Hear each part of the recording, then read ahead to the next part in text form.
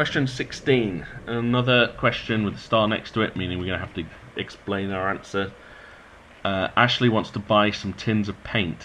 He finds out the cost of paint at two shops. Paint R Us, which has a normal price of £2.19 a tin, but when you buy two, normal price you get a third one for free. Or Decomart, normal price of £1.80 a tin, with a special offer 10% off the normal price. Ashley needs 9 tins of paint, wants to get all the tins from the same shop, he wants to pay the cheapest possible total price. Which of the two shops should Ashley buy the paint from? Okay, so I have to break this down into two parts. What's it going to cost you for Paint R Us and what for Decomart? So let's do Paint R Us first.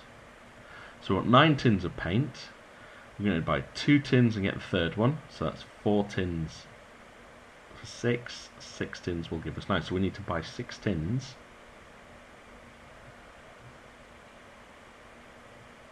at £2.19 each.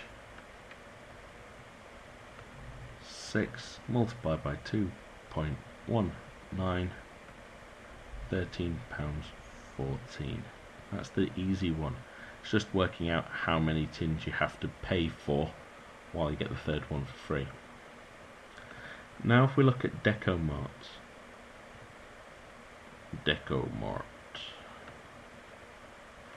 Now we're still having to buy 9 tins from this place, so that's going to be 9 multiplied by 1.80. 9 times 1.80, which equals 16 pounds 20. Now if we did that, we can compare these two and give an answer saying Decomart is more expensive, and we'd only lose a couple of marks because we've not calculated the 10%. If you forget to do that or that you can't remember how to do that in an exam, write down some of your calculations. Do what you can. Give your judgment based off your calculations because you'll still get marks. The thing is, we can get full marks on this one. Work out what 10% of this is and take it away. So if he's got 10% off, um, let's work out what 10% of £16.20 is. Well, to do that, we've got uh, 16.2 divided by 10 because there's 10, lots of 10 in 100. So 16.2 divided by 10 equals 1.62. So if we take that away, that's going to be 116.20 minus 1.62. 16 pounds 20. Take away 1 pound 62.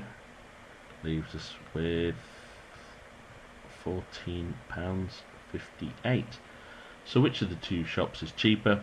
It's still going to be Paint R Us. So let's give a written description. So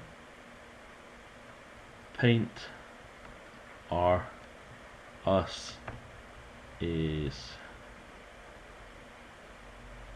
cheaper for nine tins so